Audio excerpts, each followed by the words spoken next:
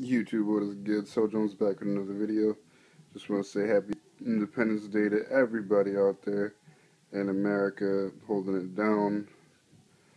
Take this time to enjoy your freedom, people. People fought for this, earned it, what have you. So I hope everybody's spending time with friends and family today, enjoying their 4th of July.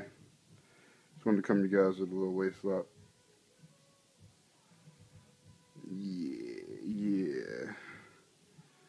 These are the Squirtle and Charmander Air Force Ones from the Blazer pack that just dropped.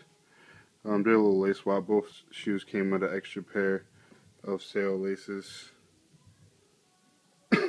But really dope. Um, came out real nice. Shout out to AimsL25, my boy LA, on YouTube. On the lace technique. I think it came out real clean. Then also shout out to Yo Auntie. He did a lace lace-up video recently. Showed how you tuck the excess laces on the inside. Got this clean little look with the laces hanging down. I think that looks really nice. Came out really good. Got our array of hats over here. Red and blue. Red, white, and blue. Celebrate today. I'm about to head into work. Not sure what hat I'm going to wear. Probably go with the Superman one. It's got the red underbrim.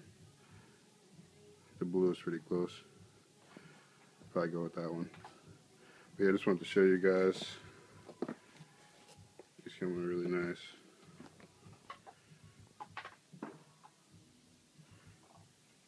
Here's a full review of these shoes coming soon.